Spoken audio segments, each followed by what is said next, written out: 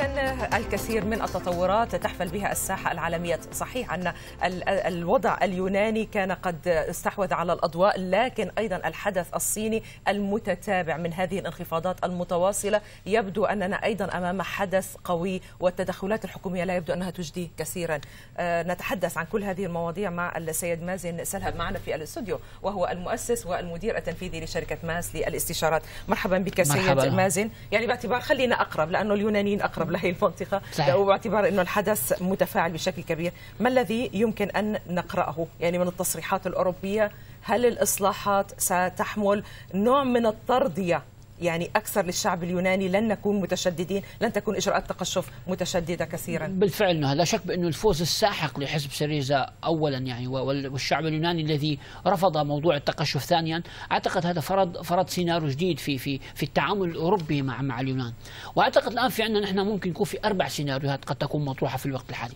السيناريو الأول أنه أنه يكون في عندك نوع من الاتفاقية البسيطة المتواضعة ما يكون في عندنا نحن كثير من التشدد الأوروبي. الاتفاقية الثانية أو النقطة الثانية قد يكون هناك هناك نوع من آه، ال default أو الإفلاس اليونان وبقائه في منطقة اليورو واعتقد ربما هذا خيار صعب جدا وقد لا يحدث. الخيار الثالث هو التوصل إلى اتفاق جديد بكل بساطة اتفاق جديد بين الأوروبيين بين اليونانيين على كيف, كيف شكل هذا الاتفاق؟ شكل هذا الاتفاق يكون على اتفاق بأنه البنشز موضوع التقاعدات لا يتم ابدا الاقتراب منه ويتم ربما إعادة هيكله لهذه القروض. بمعنى بدل بدل أن يتم دفعه على ثلاث سنوات خمس سنوات أو خمس سنوات سبع سنوات بفوائد معدلة. أو كمان هناك أيضا اقتراح ربما يكون في عندك نوع من تخفيف في عملية آه، مثلا آه، الديون المتاحة. يعني اليونان لديها مثلا فرضا التزامات دولية بقيمة 240 مليار ربما يتم التخفيف منها. الخيار الرابع هل تقبل ألمانيا بذلك؟ ناقش أنا ونهى بهذا الموضوع. إنه ألمانيا متشددة في هذا الإطار. الان الآن في الخيارات المطروحة أمام الأوروبيين وعلى رأسهم ألمانيا بسيطة جدا. نأخذ شغله بعين الاعتبار هاني. أكبر دائن لليونان هم هم, هم الألمان. وبالتالي الألمان هم صاحب المصلحة الأكبر في التوصل إلى اتفاق بأقصى سرعة ممكنة. اولا من أجل ضمان تحقيق نوع من دفع هذه المبالغ المستحقة. ثانيا تحقيق نوع من الاستقرار. ألمانيا هي المستفيد الأكبر من بقاء اليونان وهي أيضا المستفيد الأكبر من الاتحاد الأوروبي بشكل عام أو اليورو بشكل عام. يعني لا أحد يتوقع بأن اليونان تضغط لخروج اليونان ابدا. أنا أعتقد بأنه في الوقت الحالي هناك رغبة أوروبية عارمة وألمانية بشكل خاص لإبقاء اليونان مهما كان تطلب ذلك. وأعتقد تصريحات الفرنسيين تصب في هذا في هذا المجال. هلا الخيار الرابع اللي ممكن يكون مطروح هو Grexit أو خروج اليونان؟ وأعتقد بأنه صعب الحصول لأنه ليست هناك من نية سياسية أو اقتصادية بخروج اليونان بخروجها في الوقت الحالي. قد يتم دفع اليونان للخروج هذا ربما يكون سيناريو سيء جدا في حال إصرار من, من سيدفع اليونان للخروج؟ الأوروبيين. يعني شوف الآن الكرة في ملعب الأوروبيين بشكل أو بآخر. وبقاء اليونان أو خروجها أعتقد هي مسألة أو هي مسؤولية الشركاء الأوروبيين وال ECB على رأس هؤلاء الشركاء. ال ECB هو أحد الناس أحد الجهات التي مولت اليونان بشكل أو بآخر. والآن في برامج التيسير التي يقوم بها وفي برنامج الدعم الطارئ الذي يقوم به اليونان هو صاحب الكلمة أعتقد الأهم الآن في المرحلة الحالية لإبقاء اليونان في في في في, في, في منطقة اليورو. هو قال أنه أبقوا على على نفس صحيح. الكميات بالنسبة للمساعدات تمام. الطارئة ولكن هم لا لا يستطيعون إعطائها بدون الشروط صحيح يعني بدون صحيح. أن يتم هناك اتفاق قال كيف يمكن أن يعني نقرضهم أو نعطيهم بدون تمام. اتفاق الان الآن يعني الخط النقدي الطارئ الذي الذي قام به ال ECB لليونان ما زال مستمر هو لم يدفع مبالغ أخرى يعني زيادة لليونان لكنه أبقى على على على كميات النقد تماما. من أجل أن تبقى البنوك والنظام نعم. النقدي يسير بشكل طبيعي. ولكن أعتقد سوف يكون هذا جزء من الاتفاق والمفاوضات الشاقة والقمة التي سوف التي سوف تكون في هذا اليوم. ال ECB الآن هو طرف مهم في هذا الموضوع. قد ربما يكون في طروحات أخرى نوع من من من يعني خلينا نحكي بأنه التمديد في في دفع هذه في هذه ما نناقشها أكثر بالتفاصيل بعد عن افتتاح الأسواق الأوروبية. توقعاتك بكلمة واحدة أحمر ربما, ربما يكون في في مزيد من التراجع أعتقد أه. ممكن يكون في مزيد من التراجع اليوم خصوصا في في مؤشر الداكس الألماني اللي شهد تراجع فأعتقد مسألة التراجعات لم تنتهي بعد ما كانت ما كانت قوية البارح تماما بلشت قوية بس هو ربما وجود توقعات إيجابية نعم. بقرب التوصل الاتفاق هو الذي خفف من هذا نعم. الموضوع نعم نذهب إلى فاصل وافتتاح الأسواق مع هاني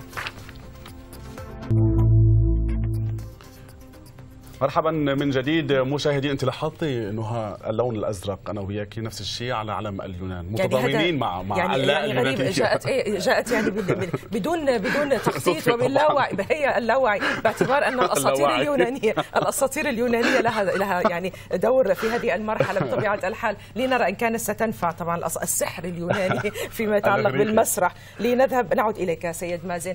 طيب إذا فعلا ما تم الاتفاق وحتى إذا بكل الأحوال إذا ما كان إعادة جدولة للديون لأنه في تأخير بدفع هذه الديون صحيح. وحتى إذا إن كان أيضا من السيناريو الأبعد ربما تقديرا في عملية ربما شطب جزء من هذه الديون. لا نعلم إن كانوا سيتوصلون لكن هذا الأمر سيصب في غير مصلحة القطاع المصرفي الأوروبي وحتى الألماني. هذا هل سيعطينا أن الدلالات أن هناك متاعب؟ ستلحق بهذا القطاع في الربع الثاني في الربع الثالث. شوفي هذا أعتقد هذا هو التحدي الأكبر لأنه المشاكل اللي عم بتصير في اليونان رغم كل التصريحات من قبل الشركاء الأوروبيين ورغم كل تصريحات كثير من المسؤولين الاوروبيين أنه ليس لن تكون هناك عدوى.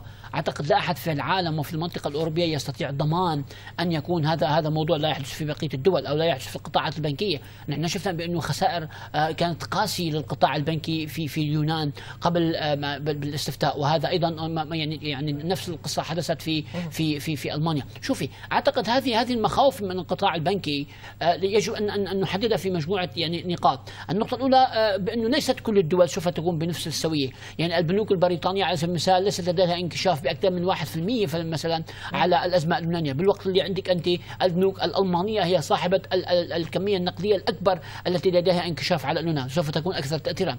هذا ينطبق أيضا على إسبانيا وعلى إيطاليا التي لديها انكشاف ولكن بنسبة أقل. أيضا لدينا لا ننسى لدينا ال ECB البنك البنك المركزي الاوروبي وأيضا لدينا ال IMF صندوق النقد الدولي. فاذا أعتقد قدرة التأثير سوف تكون مرتبطة بهذه الدول. ولكن بشكل أو بآخر عدم القدرة في التوصل لاتفاق وعدم على الوفاء بالتزاماتها بالتأكيد سوف يكون لديه تبعات سلبية تعمق من خسائر هذه البنوك وتعمق من خسائر مؤشرات الأسهم الأوروبية خلال المرحلة القادمة، لأنه بالأساس لا أستطيع يعني لا يستطيع احد منها أن يضمن عدم امتداد وتوسع هذا الموضوع، يعني اولا نتكلم عن تأثير الدومينو، ما بنعرف اذا ممكن يكون في سقوط لبقية الدول أو تراجع في قدرة السداد عند بقية الدول، لا سيما أنه في عندك دول أصلا لا يعني تعاني فعلا من, من مشاكل اقتصادية حقيقية، لأنه لأن نتكلم عن إسبانيا أو إيطاليا ربما التي شهدت تحسن في الفترة الأخيرة ولكن هناك كثير من التعقيدات الاقتصادية في المنطقة الأوروبية في الوقت الحالي. نعم. إيه، مازن كما يبدو يعني الافتتاحية الأوروبية في معظمها بالمنطقة الحمراء ولكن التراجعات ليست بهذه القوة، هل الأسواق كيف يقولون امتصت الأزمة أو لا اليونانية أم آه، بكير حتى هو شوف يعني أعتقد في عندك أنت نوع من من الإحساس في الأسواق بأنه هناك قدرة للتوصل إلى اتفاق بين مختلف الشركاء. يعني جميع الشركاء الاوروبيين وعلى راسهم أنجلا ميركل. تشير بشكل واضح لأنه يجب علينا أن نوصل إلى اتفاق قاب قوسين أو أدنى بغض النظر شو شو بيتطلب هذا الاتفاق، وأعتقد ربما هنا تكمن في عدم تراجع اليورو إلى مستويات غير، نحن شفنا بأنه فتح ال market امبارح على gap كبير حوالي 130 نقطة لكن رجع اليورو ارتفع، أيضا بنشوف نحن مؤشرات الاسهم الأوروبية لا ما صار في عندك نوع من الكراش أو تراجعات قوية، أيضا ربما ما ردوا إلى أنه هناك هناك نوع من الإيجابية ربما في التوقعات، ولكن هذا الموضوع لا يعني انتهاء المخاطر بشكل أو باخر، وأعتقد بأنه إذا فشلت القمة الأوروبية الطارئة اليوم هذا سوف يكون له تبعات طيب. سيئة جدا على نعم وخصوصا إنه ألمانيا مطالبة بأن صحيح. تريد أن نعم. تريد برنامج إصلاحات محدد صحيح. وصريح جدا يعني باعتبار كان هناك غموض وكان كثير في رفض صحيح. برنامج الاصلاحات السابق نهى هناك بعض التصريحات صدرت على خلفية هذا الموضوع وزير الخزانة الأمريكي يأمل بأن تستأنف نعم. اليونان المحادثات مع دائنها لحل الازمه كذلك يحث وزير الاقتصاد الياباني اليونان على التوصل لاتفاق وزير المالية البريطاني قال البارحة بأن أزمة اليونان قد تتفاقم الارقام سريعا. خلينا ناخذ ردود الفعل الدولية وبالتحديد. ما الذي يمكن أن تستغله روسيا من جهة وأمريكا إذا إن صح التعبير لهذه الأزمة. شوف من الواضح إنه في عندك بكل صراحة سياسيا واقتصاديا طبعا. هناك أطراف في روسيا وفي الولايات المتحده الامريكيه تتمنى خروج اليونان من منطقة اليورو بشكل أو بآخر. حتى من أمريكا؟ و... تماما. وأنا كنت أراقب التصريحات الاقتصادية لكبار صناع السياسة النقدية والمالية والاقتصادية في يعني هاتين الدولتين هناك فعلا رغبة قد تكون خفية وغير ظاهرة للإعلام. بخروج اليونان من منطقة اليورو حتى يكون لدينا هناك ربما مزيد من الفرص.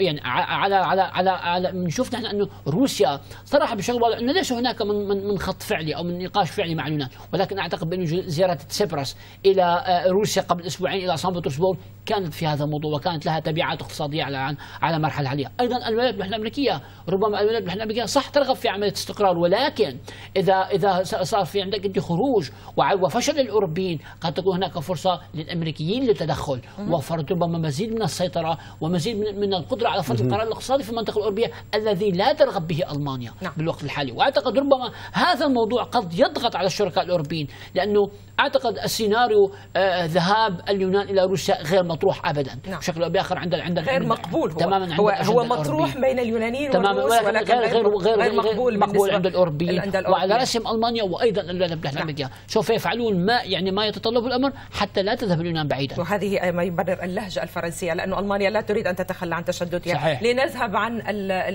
الأسواق الآسيوية. الأسواق الآسيوية الصين يبدو أنها ستتحمل الجزء الأكبر وحتى أن العالم يعني عليه أن يشهد أن يبقى مراقبا للحدث الصيني. ما الذي برأيك يخبئ؟